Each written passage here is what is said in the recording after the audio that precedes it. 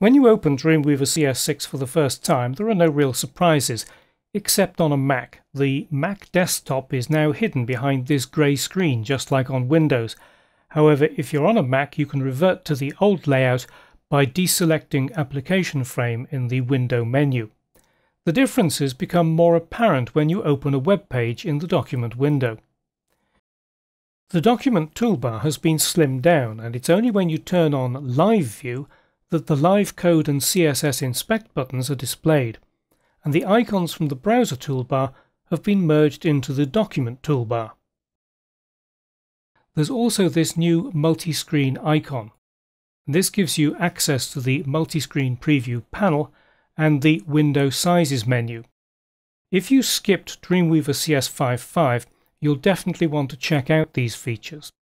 The multi-screen preview panel allows you to view your page in live view at three different window sizes simultaneously.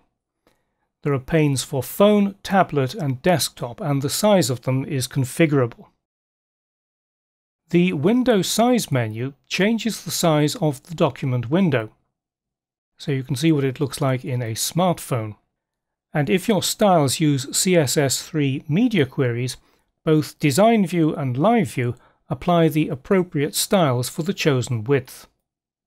Media queries also play a vital role in the new Fluid Grid Layout feature.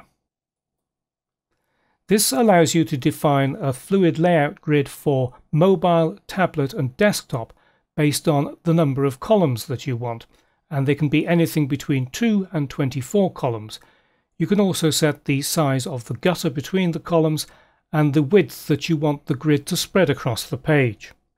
Once you've created the basic structure and added some content to it, you can then snap to the grid. Let me show you an example here.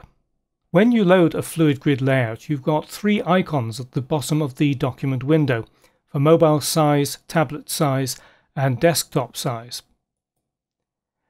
And this shows you the grid with the columns in the background for the tablet size. And if I select one of the layout divs, handles appear at the top and on the side, and I can then drag and snap it to the grid.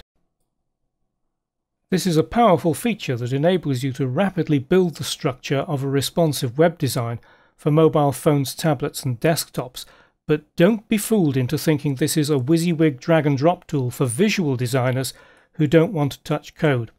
Once you've built the basic structure, you do need a solid understanding of CSS to style pages created using one of these fluid grid layouts. In fact, there's a strong emphasis on CSS improvements in this version of Dreamweaver. There's a new Web Fonts Manager, this allows you to install web fonts quickly and easily and makes them available in all your sites in Dreamweaver.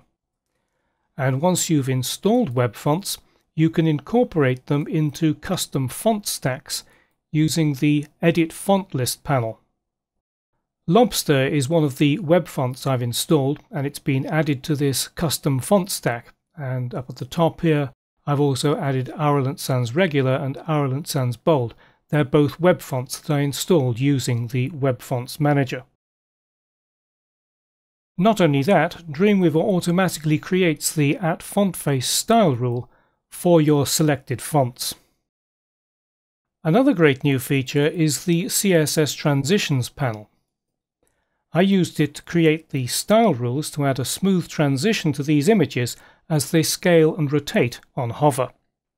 Dreamweaver's support for CSS classes has also been improved. Let me just go out of Live View and then I'll select this div here and if I open the class menu you can see that I've got two classes applied to this div and you access the panel to apply the multiple classes by selecting apply multiple classes here. It's a small improvement but it's one that designers have been asking for for a long time. So what else is new? Well, Dreamweaver's integrated version of jQuery Mobile has been upgraded to the stable 1.0 version.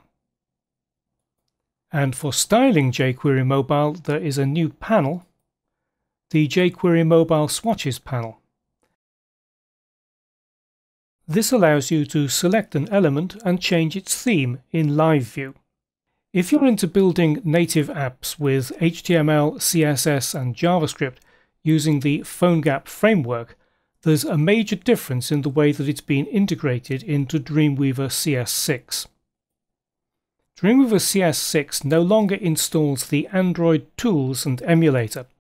Instead, a dedicated panel uploads your files to PhoneGap Build, an online service that generates and digitally signs your apps. It even allows you to build an app for iOS on Windows, although the signing key must be created on a Mac.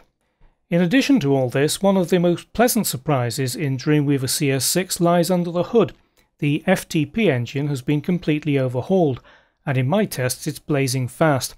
You can track the progress of large file uploads, and you can even upload and download at the same time. So that's a quick roundup of what's new in Dreamweaver CS6. I'll be covering all these features in this workshop.